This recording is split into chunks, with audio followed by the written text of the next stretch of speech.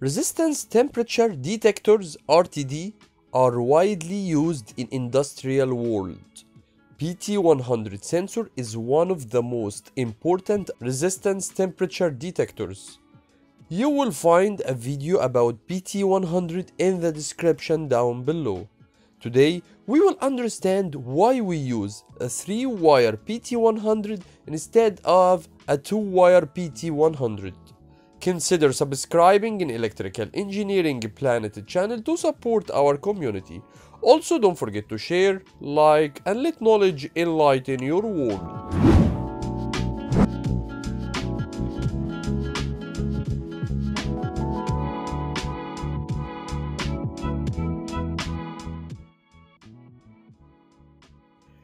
PT100 sensor is a variable resistance that changes with temperature as illustrated in the video in the description down below. You will find three types of this PT100 sensor 2 wire, 3 wire, and 4 wire. When we connect a 2 wire PT100 to a temperature device, the device will start to measure the resistance of PT100 plus the resistance of the two wires. So, for example, let's say that we will measure the temperature of a winding of an induction motor in the site and the temperature device is inside the substation which is 200 meters from the motor.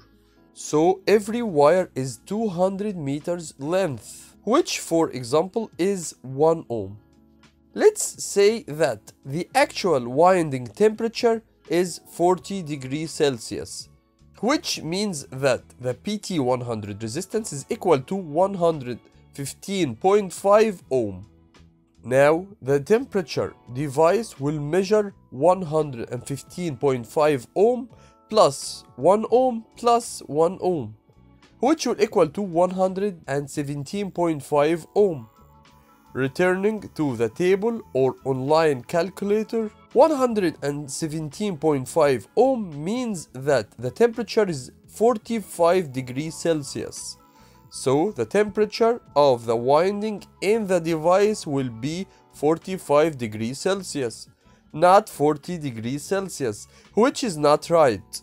All that happened because of the wire's resistance.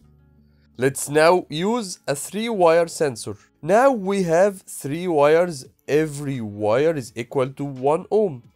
The device will measure the value between point B and C. This is the resistance of 2 wires.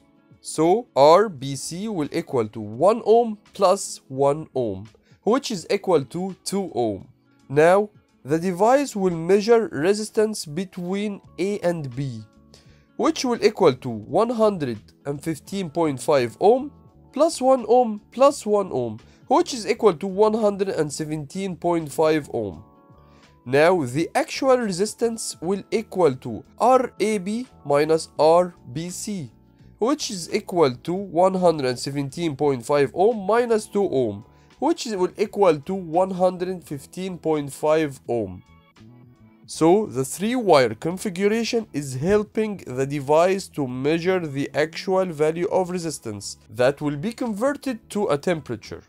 Consider subscribing in Electrical Engineering Planet channel to support our community. Also don't forget to share, like and let knowledge enlighten your world.